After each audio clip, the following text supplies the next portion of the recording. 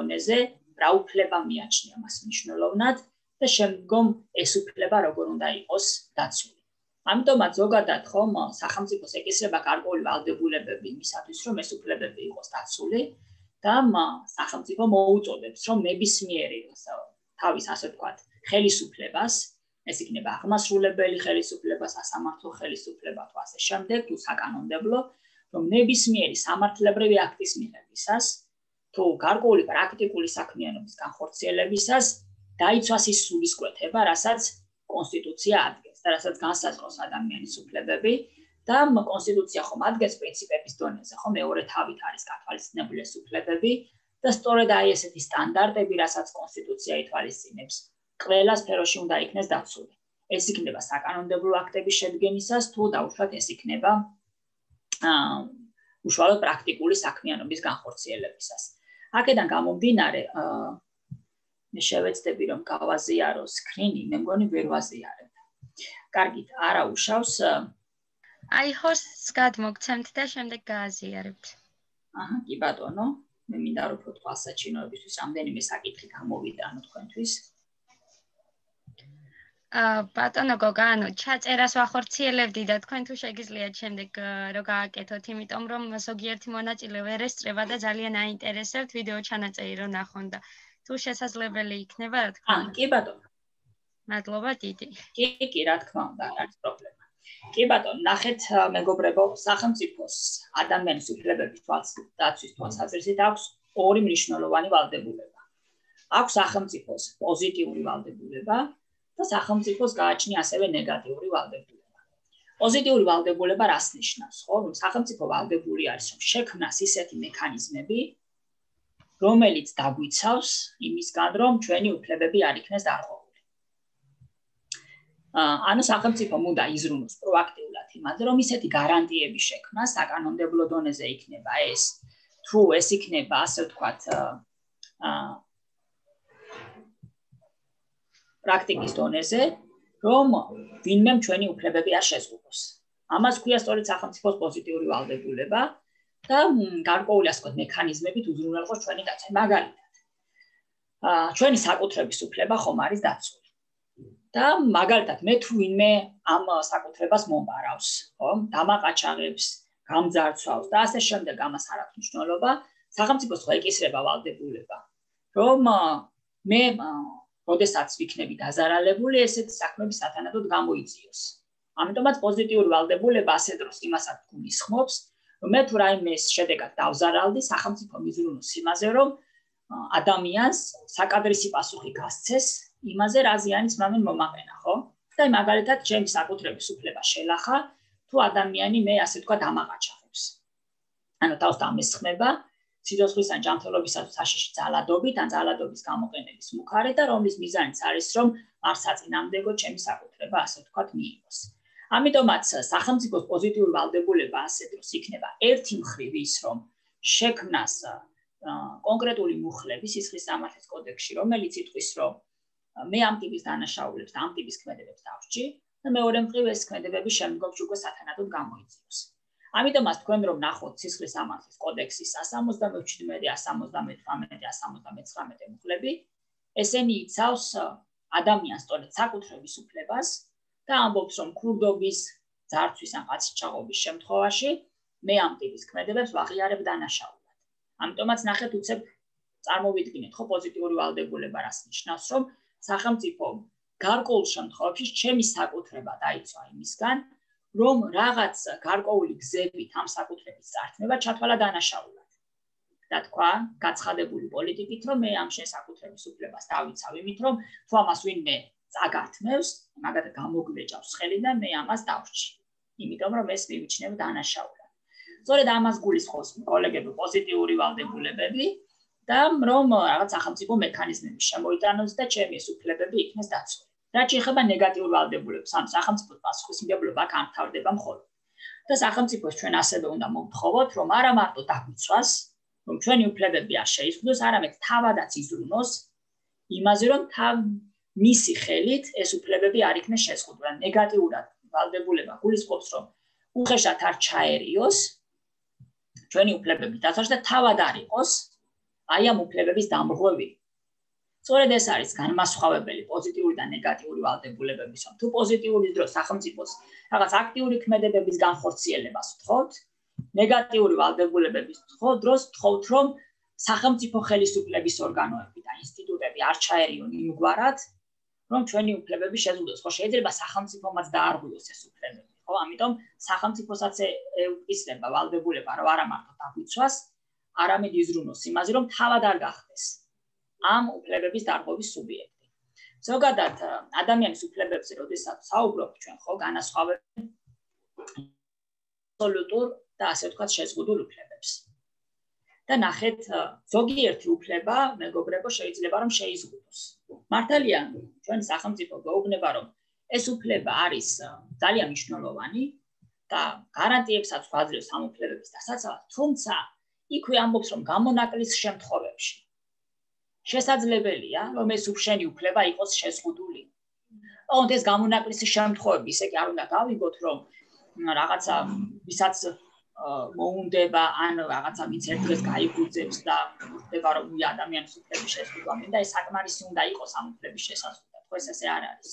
პირიქით კანონი განსაზღვრავს რომ ამ უფლების შეზღუდვას უშვებ. მაგრამ უფლების შეზღუდვა უნდა იყოს პროპორციული და უნდა იყოს ლეგიტიმური. და მიზნის მისაღწევად რის გამოც მე ვზღუდავ ამ უფლებას. უნდა იყოს აი მიზნის მისაღწევად გამოსადეგი. აი მაგალითად საკუთრების უფლება კოლეგებო, ხო შეიძლება შევზღუდო.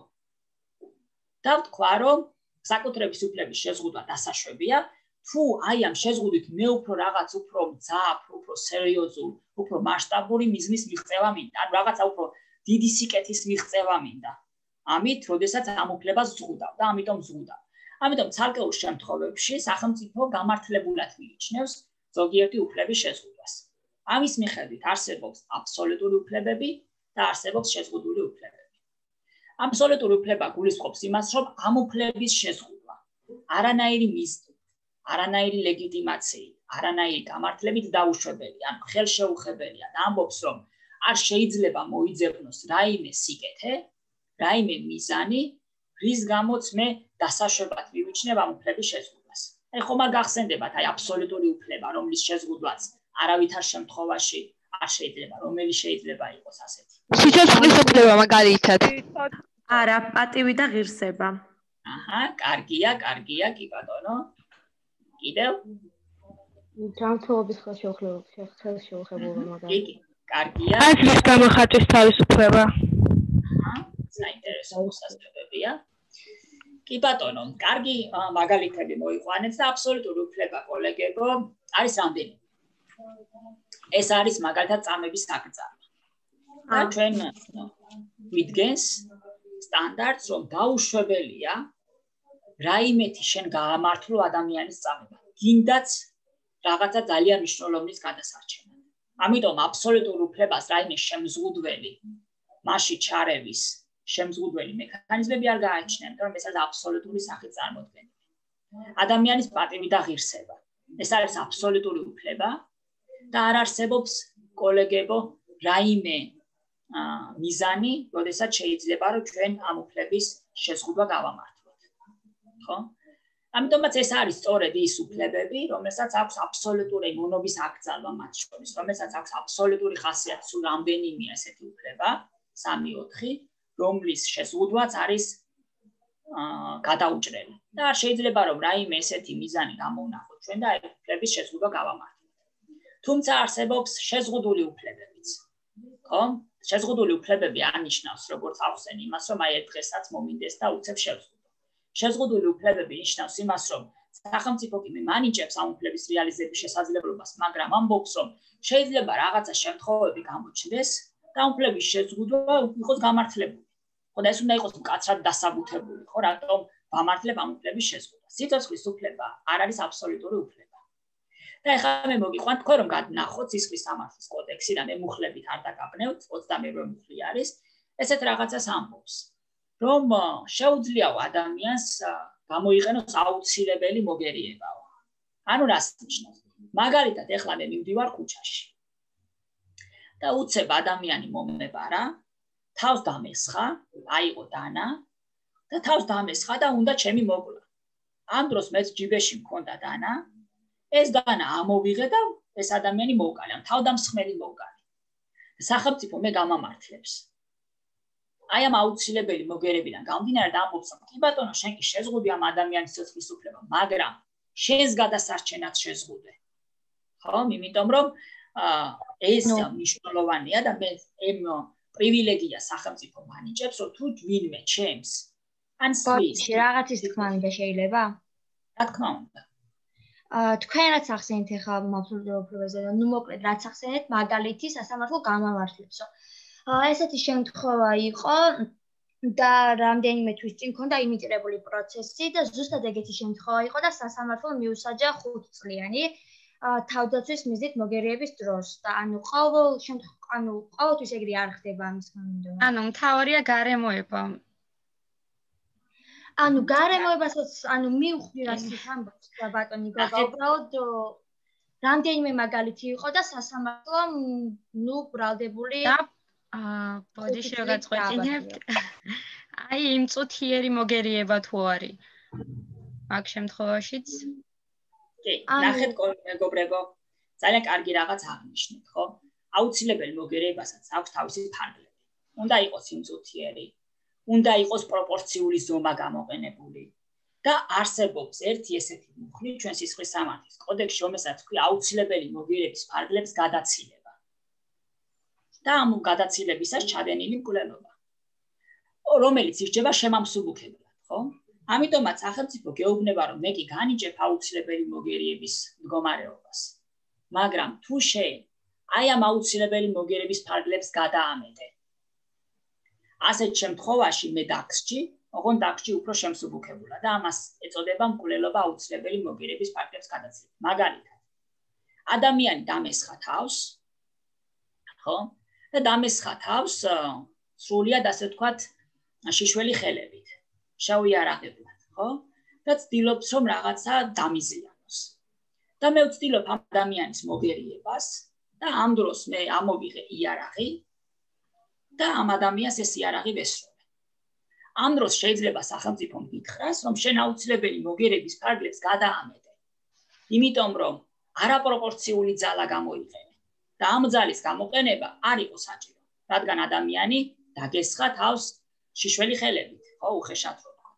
ამიტომაც ძალიან მნიშვნელოვანია ხო იმის განსაზღვრა, ერთი მხრივ იმყოფები თუ არა აუცილებელ მოგერებას და მეორე ვიცავ თუ არა ამ აუცილებელი მოგერების ფარგლებს.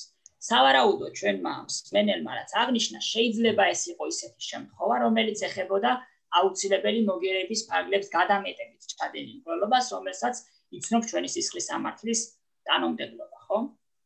ამიტომაც აი ამას აქვს მნიშვნელობა, განსაკუთრებული სიმკაცრით უნდა შევთავაზოთ, იყო თუ არა აუცილებელ მოგერებაში და პროპორციული ზომა გამოიყენა თუ არა, ხო? სავარაუდოდ ასარალებულმა იმისაც რომ მოგერიებელი, ასე ვთქვათ, მოეგერიებინა. კიდევ შეზღუდული უფლებები არის კოლეგებო, საკუთრების უფლება, ხო, რომელიც შეზღუდული უფლებაა. ასევე შეზღუდული უფლება არის პირის თავისუფლება და ჩვენი კონსტიტუცია რას ადგენს, ხო, ეხლა ამ ასე ვთქვათ, თავისუფლებასთან მიმართებით. მე-13 მუხლი, რომ ნახოთ თქვენ საქართველოს კონსტიტუციის მეორე თავის, გვეუბნება ესეთ რაღაცას, რომ ადამიანი არისო თავისუფალია. და ეს თავისუფლება არის გარანტირებული. თუმცა იქვე მიუთითებს იმას, რომ ამ უფლების შეზღუდვა არის დასაშვები და შესაძლებელი გარკვეული მიზნების შემთხვევაში გარკვეული წესი და გარკვეული გადაწყვეტილებები. ამიტომაც ერთი მხრივ შეზღუდვისას ყურადღება უნდა მივაქციოთ იმას, რამდენად გამართლებულია შეზღუდვა და მეორე ვინ ახორციელებს ამ შეზღუდვას, ხომ? ხდება თუ არა იმ პირის გადაწყვეტილებით, რომელსაც აქვს ლეგიტიმაცია, რომ ჩაერიოს ადამიანის უფლებებში. ამიტომაც კონსტიტუცია ამბობს, რომ თავისუფლების აღკვეთის, ან თავისუფლების სხვაგვარი შეზღუდვის შეფარდება დასაშვებიაო მხოლოდ სასამართლოს გადაწყვეტილებით. ანუ ნახეთ, მაგათ ადამიანი ჩაიდინა დანაშაული, ხო? რატომ გვაქვს ჩვენ სამართლა წარმოების პროცედურა? აა საბოლოო სიტყვა დამნაშავე არის თუ არა ეს პირი, ჩვენ უნდა გითხრას სასამართლო. და უნდა გითხრას მოსამართლე. აქედან გამომდინარე ჩვენ მაგიტომ ვერ შევუფარდებთ ამ ადამიანს სასჯელს, იმიტომ რომ ადამიანის თავისუფლებაში ჩარევის ესეთი ლეგიტიმაცია ჩვენ უბრალო ადამიანებს არ გაგვაჩნია. ამიტომაც თუ სასამართლო იტყვის, რომ ეს ადამიანი ბატონო დამნაშავეა და მიუსჯის რამდენიმე წლით თავისუფლების აღკვეთას, ეს ხო ნიშნავს, რომ ჩემი თავისუფლება შეიზღუდა. ხო ნიშნავს ამას. მაგრამ შეიზღუდა აგერ ბატონო სასამართლოს გზით, რომელიც სრულიად არის კანონიერი. ამიტომაც აი ეს რა შემთხვევაც მოგიყევით, ხო? ეს ნიშნავს იმას, რომ ადამიანის თავისუფლება არ არის აბსოლუტური უფლება და შესაძლებელია შეიზღუდოს ასე ვთქვათ სასამართლოს გადაწყვეტილება. ასევე ადამიანის თავისუფლება შეიძლება შეზღუდოთ პოლიციელის გადაწყვეტილებითაც, როდესაც ადგილი ეხება მის დაკავებას. ნაი მაგათ ადამიანმა თუ ჩაიდინა დანაშაული, ხო?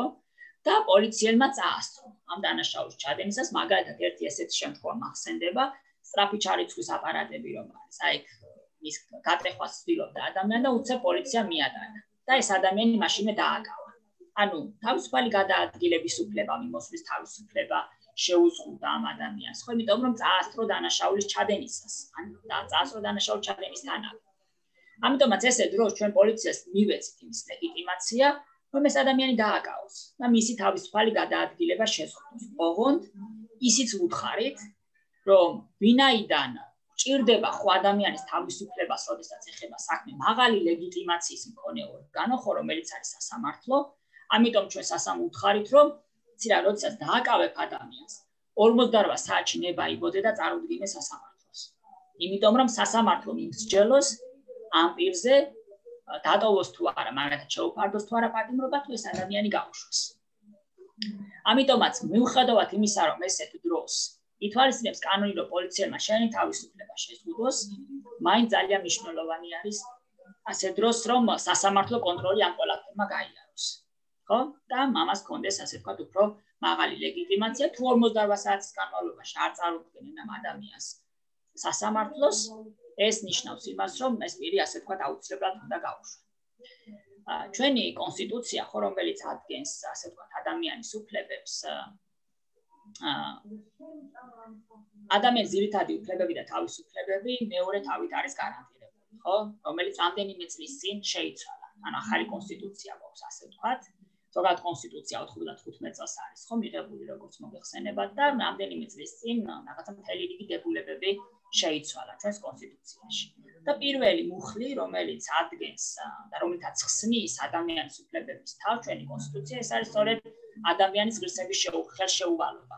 რომელიც თავის მხრივ არის აბსოლუტური უფლება და ამბობს, რომ ღირსება ხელშეუვალია და იცავს სახელმწიფო მასო. მაგრამ რას ნიშნავს დაცვა, რას ნიშნავს ხელშეუვალობა, სხვაგან არ არის განმარტებული. ამიტომაც სახელმწიფო ამით მოუწოდებს ყველას თავის სახელმწიფო ორგანოებს, ფიზიკურ პირებს, იურიდიულ პირებსაც მათ შორის, ხო? რომ ნებისმიერი გადაწყვეტილების მიღებისას მოქალაქეებთან, ადამიანებთან ურთიერთობისას და კომუნიკაციას აი ეს ადამიანის ღირსება დაიცვას. და ყველა გადაწყვეტილება მიღებული იქნას აი ამ სულისკვეთებით, რასაც ადამიანის ღირსების ხელშეუვალობა ქვია. კიდევ ერთი ესეთი საინტერესო უფლება, ხომ, რაც უკავშირდება ჩვენს კონსტიტუციას, ეს არის თანასწორობის უფლება. რომელიც ამბობს მეგობრებო რომ ყველა ადამიანისო არისო თანასწორი და ჩამოთვლის თანასწორობას კანის, რასის ფერის, სქესის, ეროვნების, სექსუალური ორიენტაციის, გენდერული იდენტობის, ხო? რელიგიის, პოლიტიკური ან სხვა შეხედულებების გამო და განამტკიცებს და იმ დისკრიმინაციის დაუშვებლობას. და ამბობს რომ უნდა იმოქმედოს სახელმწიფო მისე რომ ეს ადამიანის თანასწორობა იქნეს გათვალისწინებული და თანასწორობა იქნეს ასე ვთქვათ უზრუნველყოფილი. ეს არის ძალიან მნიშვნელოვანი პრინციპი, ხო, რომ თანასწორობის უფლება. აი ამ ჭრილში მე მინდა გესაუბროთ ქალთა მიმართ და ოჯახში ძალადობის ძალიან მნიშვნელოვან საკითხზე, ხო, რომელიც სწორედ კონსტიტუციური პრინციპებიდან გამომდინარეობს. თქვენ რომ ნახოთ ოჯახში ძალადობის ცნება, ოჯახში ძალადობის ცნება არის საკმაოდ ზოგადი. ნაგვეუბნება რომ ოჯახში ძალადობაო ეს არისო. ოჯახისო ერთი წევრის მიერო მეორე წევრის კონსტიტუციური უფლებებისა და თავისუფლებების დარღვევაა და ჩვენ უკვე კონსტიტუციაში ოდესაც ჩავხედავთ და სადაც ბევრი უფლება არის ხო გარანტირებული. ნახავთ რომ ოჯახში ძალადობა ფიზიკური სახით იქნება, ფსიქოლოგიური სახით, ხომ, სექსუალური და ასე შემდეგ, აი კონსტიტუციით გარანტირებულ რომელიმე უფლებას არ აქვს. აი მაგალითად ერთი ესეთი ძალადობის ფორმა გვაქვს ჩვენ, რაც გულისხმობს უგულებელყოფას. როდესაც მშობელი, კანონიერი წარმომადგენელი ან ბავშვის სხვაგვარად პასუხისმგებელი პირი ააკმაყოფილებს ბავშვის განვითარებისათვის საჭირო ფიზიკურ თუ ფსიქოლოგიურ საჭიროებებს. მაგალითად, განათლების უფლების შეზღუდვა. ხო? ამიტომაც ჩვენ ვიტყვით, რომ ადგილი აქვს გულებელყოფას, რაც გამოიხატება განათლების უფლების შეზღუდვაში. ესე იგი, განათლების უფლება დარღვეულა, ხო? ადამიანის, რომელიც კონსტიტუციით არის ასე თქვა გარანტირებული. ასევე მაგალითად თუ ოჯახის ერთი წევრი მეორე წევრს თავისუფლებას აღუკვეთავს უკანონოდ. ხო?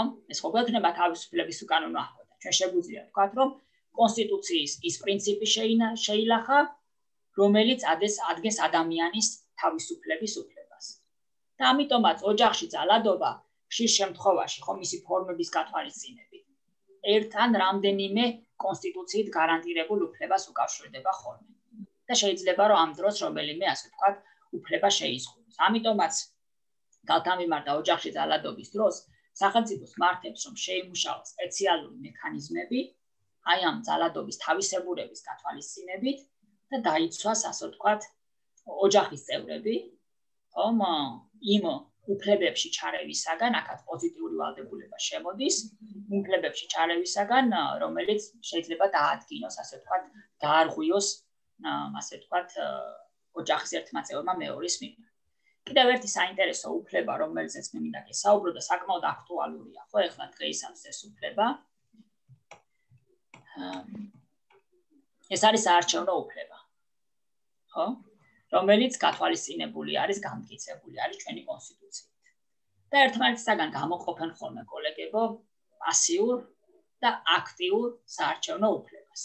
ხომ არიცით მათ შორის განსხვავება რა არის? მე მაქვს მოსაზრება ამის შესახებ. აქტიური საარჩევნო უფლება აქვს ნებისმიერ ამომრჩეველს, ჩემი აზრით და პასიური საარჩევნო უფლება აქვს თვითონ და აბიუჩი, ანუ ასარჩევ ადამიანს. ოჩა, კი, ნამდვილად ეს არის, მაგრამ თქვენ ესეთ დაყოფას კონსტიტუციაში ვერ ნახავთ. ხო, აი 24 მუხში რომ ჩახედოთ, რომელიც არჩევნო უფლებას ადგენს, ესეთ დაყოფას ეს უბრალოდ იურისპრუდენციაშია, ასე ვთქვათ, ესეთი დაყოფა ხო, რაღაცა მეცნიერებაში გარანტირებული. და ნამდვილად სწორად აღნიშნეთ, ხო, აქტიური საარჩევნო უფლება მე წარმომეშობა 18 წლის ასაკიდანვე. და სახელმწიფო მეუბნება, რომ როდესაც გახდები სრულწლოვანი, ხო, სრულწლოვანება ხო 18 წლის ასაკიდან იწყება, შეგიძლია უკვე იყო საარჩევნო სუბიექტი. ანუ დაუჭირო ხარი შენთვის სასურველ კანდიდატურას. განსხვავებით პასიური უფლებისგან, ხო, რომელიც შეიძლება 18 წლის ასაკიდან კი არ წარმოიშვას, წარმოიშვას 35 წლის ასაკიდან. წარმოიშვას 21 წლის ასაკიდან, იმიტომ რომ პასიური საარჩევნო უფლება გულისხმობს ადამიანის უფლებასა და შესაძლებლობას კენჭი იყაროს ასარჩევ თანამდებობაზე. მაგალითად, აი მაჟორიტარობის კანდიდატი, ხო? ან პროპორციული სიის წევრი, ხო? ის იყენებს პასიურ საარჩევნო უფლებას, რომ კონდეს იმის შესაძლებლობა, რომ გამოვიდეს საკუთარი პროგრამა გააცნოს ადამიანს და იყოს ნომინანტი იმ კონკრეტულ თანამდებობაზე, რისთვისაც ასე ვთქვათ, ის ირჩევს ის მონაწილე. ამიტომაც პასიური საარჩევნო უფლება გულისხმობს სწორედ იმ კონკრეტულ ასე ვთქვათ სუბიექტს, რომელმაც შეიძლება კენჭი იყაროს ასარჩევ თანამდებობაზე. პასიური საარჩევნო უფლების მქონე ადამიანს ხო თავის მხრივ აქვს უფლება, რომ აქტიური საარჩევნო უფლებაც ჰქონდეს, ხო მესია. მაგალითად, მე თუ ვარ მაჟორიტარობის კანდიდატი, ხო და სადღაც დიდუბეთში უღურეს შემდა ვიყარო კენჭი, ხო და მინდა რომ რომელიღაცა პარტიისა და უკიდებელი კანდიდატის სახით შევიდე პარლამენტში, ხო როგორც მაჟორიტარობის კანდიდატი. მე ჩემი მხრივ ხომ აქვს უფლება რომ აქტიური საარჩევნო უფლებაც მქონდეს ხო იმიტომ რომ მე შემიძლია რომ არა მარტო ხარი დავაჭერინო საზოგადოებას და ხარი დამიჭირონ არამედ ის რომ მე თვითონ ხმა მივცე ხო იმ კანდიდატს ჩემ თავს იქნება ეს დაუშვათ სხვა ადამიანს რომ აქტიური საარჩევნო უფლებითაც ვისარგებლო. ამიტომ პასიური საარჩევნო უფლების მქონე პირები სარგებლობენ აქტიური საარჩევნო უფლებით. რასაც ვერ ვიტყვით პირით, ხო? იმიტომ რომ მხოლოდ აქტიური საარჩევნო უფლების არსებობა არ არის საკმარისი იმისათვის, რომ მე ასევე პასიური საარჩევნო უფლება მქონდეს და როგორც გვამბობს ჩვენი გვეუბნება ჩვენი კონსტიტუციის პრინციპები, არჩევნები უნდა იყოს საყოველთაო, თანასწორი, უნდა იყოს პირდაპირი და ფარული წესით. ხომ? და აი ეს პრინციპების დაცვით უნდა იყოს, ასე ვთქვათ, უზრუნველყოფილი არჩევნებში მონაწილეობა. არსებობს გამონაკლისები. როდესაც მეგობრებო, ადამიანი ვერ მიიღებს მონაწილეობას არჩევნებში. მიუხედავად იმისა, რომ მას 18 წელი შეუსრულდა. მაგალითად, ხო ვერ მეტყვით რომელიმე ესეთ გამონაკლისს. აა შეზღუდული შესაძლებლობის მქონე ადამიანებზე შეიძლება ეს. ანუ სახში როცა მეაქვთ. სახში როცა შემიძლია თქვა. ნახეთ მეგობრებო, სახში როცა მეაქვთ ეს მეაქვთ გადასატანის საარჩევნო ყუთი. ანუ ეს რას ნიშნავს, რომ ადამიანს უბრალოდ თავისი ფიზიკური მდგომარეობიდან გამომდინარე, ხო, არ შეუძლია საარჩევნოებაზე მისვლა. ამიტომ სახში მეაქვთ გადასატანი ყუთი. ხო, ესეთ ჩაოლებრივი საარჩევნო უფლება უბრალოდ სხვა სპეციფიკით ხორციელდება და ესეც არჩევნებში მონაწილეობას. ანუ ფსიქიკური ჯანმრთელობის გამო აი კი კი აი რაღაცა სწორად ხარ. ის სამართლებრივი პასუხისმგებლობა ვისაც აქვს დაგესებული განსაკუთრებით მძიმე და მძიმე დანაშაულებრივი ქმედებისთვის. აჰა. კი ბატონო. კიდევ? კარგი. შევაჭრე. ხანდაზმული ადამიანებისთვის. როგორ? ხანდაზმული ადამიანებისთვის, რომელთა გადაადგილებაც შეზღუდულია მეტნაკლებად. აჰა. მადლობა. მოკლედ კოლეგებო, არჩევნებში არ აქვს მონაწილეობის მიღების უფლება, მოქალაქეს, ხო? რომელიც სასამართლო ცნო დამნაშავეთ განსაკუთრებით მძიმე კატეგორიის დანაშაულის ჩადენისათვის. და იმყოფება სასჯელის აღსრულების დაწესებულებაში. ანუ იხდის სასჯელს პენიტენციურ დაწესებულებაში. წლების წინ ჩვენ კონსტიტუციაში ჰქონდა ჩანაწერი, რომელიც ამბობდა, რომ არა მარტო განსაკუთრებით მძიმეო, არამედო ძიმე კატეგორიის დანაშაულების შეჯავდებულ პირებსაც არ მიუცეთ არჩევნებში მონაწილეობის უფლება. თუმცა ძიმე კატეგორია აღარ გვაქვს დღეისათვის და გამონაკლისად არის მხოლოდ ის პირები, არიან ის პირები, რომლებიც სასამართლოს განაჩენით შეჯავდებულები არიან განსაკუთრებით ძიმე კატეგორიის დანაშაულის ჩადენისათვის და იხდიან სასჯელს პენიტენციურ დაწესებულებაში. მე არასდროს არ მიყვარს ხოლმე რაღაცა თეორიულ დონეზე მსჯელობა და აი მაგალითად მინდა რომ აი ძალიან პრაქტიკულ დონეზე წარმოვიდგინოთ ხო ეს უფლების დაცვის საკითხები რამდენადაც ეს შესაძლებელია. და აი მაგათად ვინ და რა ტიპის დანაშაულები არის აი განსაკუთრებით ძიმე კატეგორიის დანაშაულები. როგორ უნდა მიუხვდეთ დანაშაული არის თუ არა განსაკუთრებული ძიმე კატეგორიის. იმიტომ რომ აი მაგალითად არ ვიყოთ კვლელობა. კვლელობა არის თუ არა განსაკუთრებით ძიმე კატეგორიის დანაშაული? კი. ან ავიღე როგორ მიხვდით მაგალითად ანუ სამართლებრივი სასჯელის მიხედვით ანუ. აჰა რომელიც ითვალისწინებს თავისუფლების აღკვეთას 10 წელზე მეტი ვადით ან უვადო თავისუფლების აღკვეთას ეს არის განსაკუთრებული მძიმე დანაშაულება. და პასუხისგებლობა ეკისრება პირს ოჩა კარგია. თქვენ იურისტი ხომ ხართ კი კი იურიდიულზე ვსწავლობ. აჰა კი ბატონო. სწორია აბსოლუტურად ჩვენი სისხლის სამართლის კოდექსის მე-12 მუხლი რომ ნახოთ, რომელიც ჩამოთვლის დანაშაულის კატეგორიებს, სულ გვაქვს კოლეგებო დანაშაულის სამი კატეგორია. ხო?